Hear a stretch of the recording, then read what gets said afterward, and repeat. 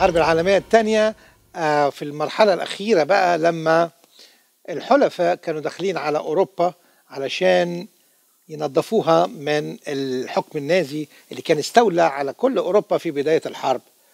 فكان لازم يبقى في نقطة ينزلوا فيها كل قوة الحلفاء تنزل في نقطة علشان تبتدي تنتشر في هذه النقطة تبتدي تحرر أوروبا.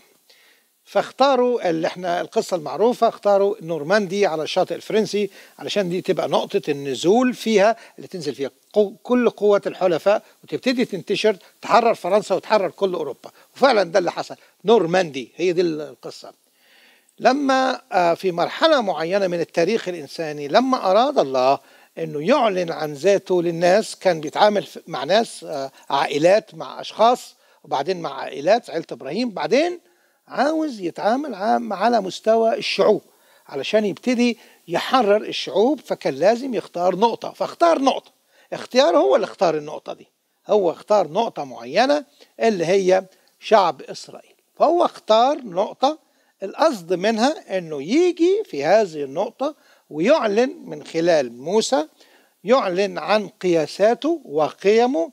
وهذه النقطة اللي هي البداية في الأصل في الأصل كان عاوز إن هذه النقطة تنتشر وتنتشر لكل البشرية الموجودة في ذلك الوقت. كان عاوز يعلن عن ذاته في شعب ومنه ينتشر إلى المنطقة إلى كل المنطقة اللي حواليه. الشعب بقى افتكر افتكر إنه ربنا يحبه هو عشان خاطر سواد عيونه علشان خاطر هو متميز جدا جدا وعشان خاطر هو أحسن من باقي الشعوب. فافتكر إن الإعلان الإلهي اللي جه فيه بتاعه.